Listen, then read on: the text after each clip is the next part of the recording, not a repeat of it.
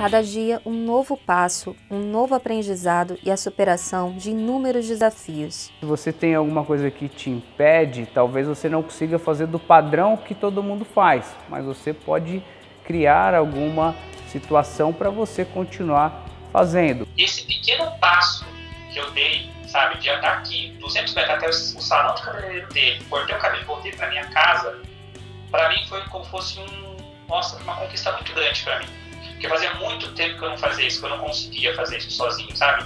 É mesmo de se admirar a força e a desenvoltura das inúmeras pessoas que aprendem a interagir com o mundo, driblando todos os desafios da cegueira e da baixa visão. Mas para que elas consigam vencer cada um dos obstáculos do dia a dia, é fundamental o trabalho conjunto com as instituições de apoio à pessoa com deficiência visual. Laramara é uma instituição que existe há mais de 30 anos Uh, e aqui na instituição, que foi fundada pelo Sr. Vitor Ciaulis e pela Dona Mara Ciaulis, há 30 anos a Lara Mara desenvolve projetos em prol da inclusão da pessoa com deficiência visual e hoje em todas as faixas de idade. A chegada à Fundação Laramara trouxe o um norte para a história do Agnaldo. Eu cheguei aqui na Laramara por volta aí é, dos cinco anos. Eu tive um glaucoma congênito, né, onde é, chego muito revoltado, né, uma criança que tem o glaucoma com uma baixa, na época uma baixa visão muito boa, mas comparado a quem não tem deficiência, é baixa. E aí o trabalho da, da instituição é, com vários profissionais, psicólogos, pedagogos, é, oftalmologia, é, inclusive a doutora Bia é, acompanha o meu caso aí desde quando eu cheguei na instituição até hoje, tá? Então é, hoje posso até dizer que aqui é a extensão da minha casa. Já o Flávio encontrou o suporte que precisava na Fundação Dorina Noil para cegos. Na Fundação Dorina eu aprendi a fazer tudo, igual numa casa mesmo assim, eu consigo fazer tudo, entendeu? A minha casa é completamente individual, a entrada individual, eu moro sozinho. E eu que cuido da minha casa, sabe? Eu limpo a casa, eu consigo. A Fundação trabalha desde 1946, do ano da fundação, né? com a questão da inclusão da pessoa com deficiência visual na nossa sociedade. Então, nós começamos lá em 1946 é, com a questão da, da educação, a produção de livros em braille.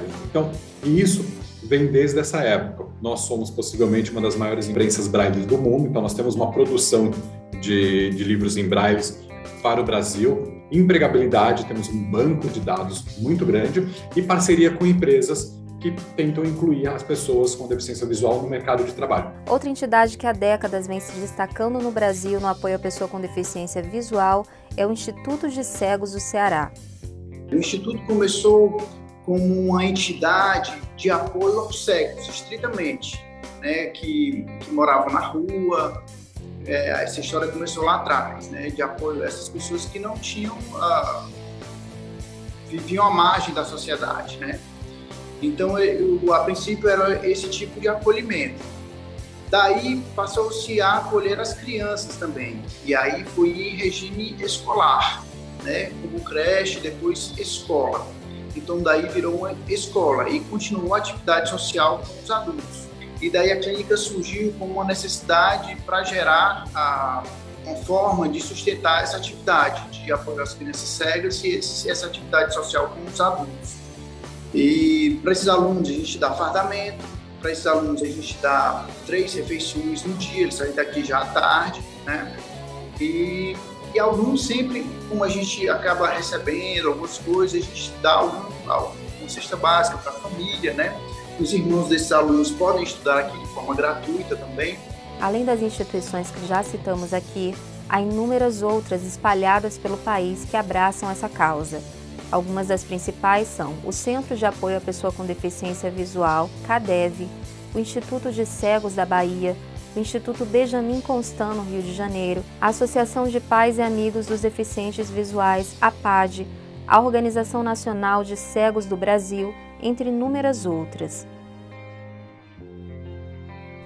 Os exemplos que mostramos aqui nos trazem a esperança de que há uma força no nosso trabalho em conjunto Todos nós, independente da condição, teremos sempre algo a ser acrescentado e algo a contribuir. No primeiro momento parecia uma dificuldade, é, me impulsionou para a vida aí, me dando força e coragem para é, derrubar as barreiras aí.